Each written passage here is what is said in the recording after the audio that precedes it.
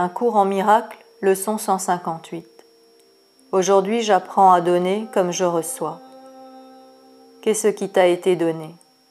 La connaissance que tu es un esprit, dans l'esprit et purement esprit, à jamais sans péché, entièrement sans peur, parce que tu as été créé à partir de l'amour.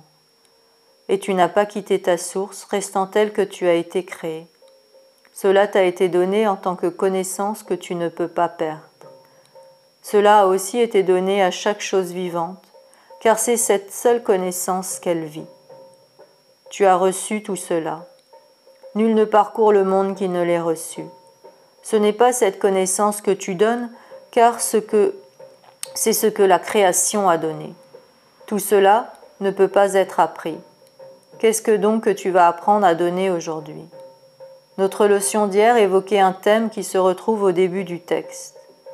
L'expérience ne peut pas être partagée directement de la façon que peut l'être la vision. La révélation que le Père et le Fils sont un viendra à chaque esprit en son temps. Or ce temps est déterminé par l'Esprit lui-même et non enseigné. Ce temps est déjà fixé. Il semble être tout à fait arbitraire. Or il n'est pas un pas en chemin qui soit fait uniquement par hasard par qui que ce soit. Ce pas il l'a déjà fait bien qu'il ne soit pas encore embarqué. Car il semble seulement que le temps aille dans une seule direction. Nous ne faisons qu'entreprendre un voyage qui est déjà terminé, et pourtant il paraît avoir un futur qui nous est encore inconnu. Le temps est un truc, un tour de main, une vaste illusion où des figures vont et viennent comme par magie. Or il y a un plan derrière les apparences qui ne change pas, et le scénario est écrit, le moment où l'expérience viendra mettre fin à toutes, tout est doute est fixé. Car nous ne faisons que voir le voyage depuis le point où il s'est terminé, regardant en arrière et nous imaginant en train de le refaire, revoyageant mentalement sur ce qui s'est passé. Un enseignant ne donne pas l'expérience parce qu'il ne l'a pas apprise. Elle s'est révélée à lui au moment désigné. Mais la vision est son don il peut la donner directement, car la connaissance du Christ n'est pas perdue, parce qu'il a une vision qu'il peut donner à quiconque la demande. La volonté du Père et la sienne sont jointes dans la connaissance. Or il est une vision que voit le Saint-Esprit, parce que l'Esprit du Christ la contemple également.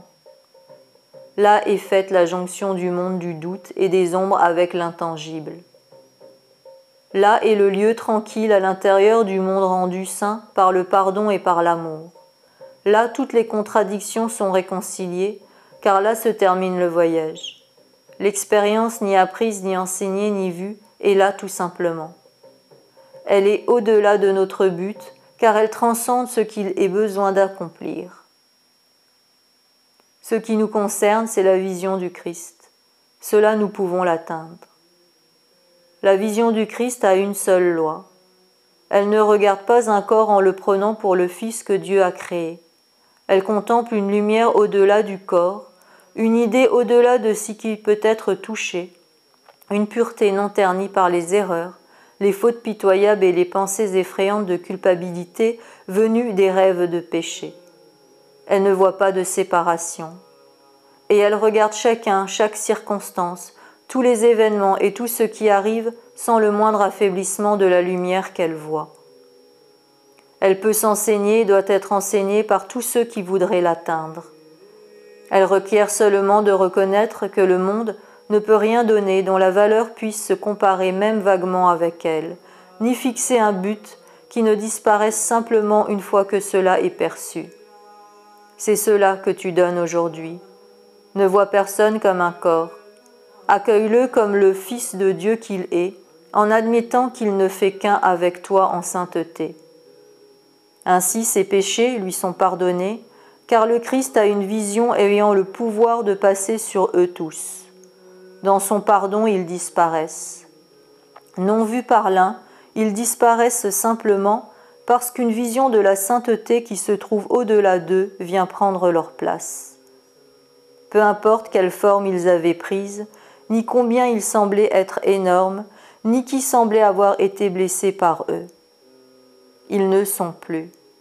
Et tous les effets qu'ils semblaient avoir ont disparu avec eux, défaits et plus jamais faits. Ainsi tu apprends à donner comme tu reçois, et ainsi la vision du Christ te regarde aussi. Cette leçon n'est pas difficile à apprendre. Si tu te souviens qu'en ton frère tu ne vois que toi-même. S'il est perdu dans le péché, tu dois l'être aussi. Si tu vois la lumière en lui, tes péchés t'ont été pardonnés par toi-même. Chaque frère que tu rencontres aujourd'hui te fournit une autre chance de laisser la vision du Christ luire sur toi et t'offrir la paix de Dieu. Peu importe quand vient la révélation, car elle n'est pas du temps. Or le temps a encore un don à faire, dans lequel la véritable connaissance se reflète de façon si exacte que son image partage son invisible sainteté, sa ressemblance brille de son amour immortel. Nous nous exerçons à voir avec les yeux du Christ aujourd'hui, et par les saints dons que nous faisons, la vision du Christ nous regarde aussi.